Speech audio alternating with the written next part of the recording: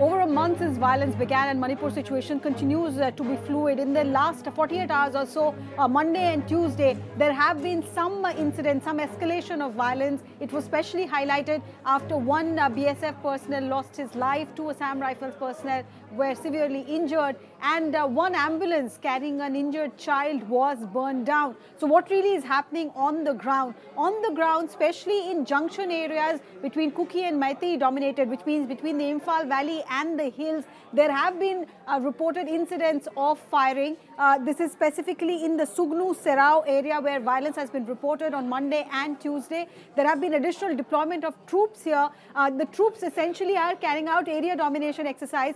Area domination exercise is meant to convey to those uh, who are militants, who are, who are supporting militants, uh, that the security grid has uh, taken charge of this area.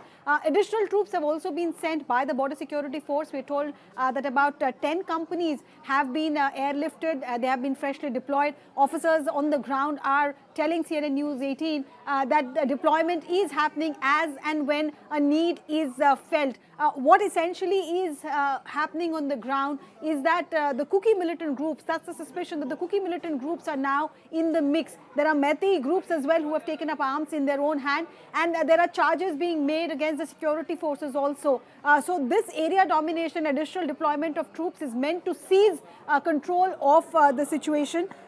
the Assam Rifle, BSF and local police came under fire both on Monday and uh, Tuesday, we are, we are told. Uh, as of today, the situation is, uh, you know, there is no fresh incident of uh, violence that has been reported in the last uh, couple of hours or so. Uh, but there are protests being carried out by Manipuri women's group who are a, who are a strong uh, you know, civil society organization. They are carrying out their own protest uh, there in Imphal. Here in Delhi also, uh, Kuki groups reached the residence of Union Home Minister Amit Shah. A lot of uh, Manipuris have fled their home state and, and come to Delhi, uh, staying either with family or finding, uh, you know, support in their village community groups. So some of those Kuki groups reached the residence of Home Minister Amit Shah carrying out protests. Of course, they were evacuated from there by the police. But that tells you um, that people of Manipur are still looking at center to resolve the current crisis crisis. Uh, more troops, they're not ruling out more boots on the ground if the situation demands so. But there are several other factors, uh, you know, external factors also that are being taken into account vis-a-vis -vis the border situation,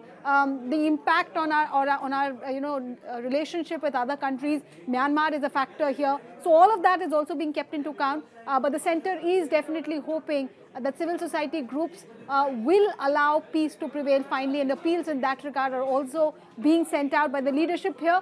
Uh, but right now it is a security first approach. More booths, area domination, seizing arms and ammunition and making it difficult for the militant groups uh, to continue uh, to carry out violence and arson. That's the focus of the security forces, but it's a big challenge that they're facing at the moment.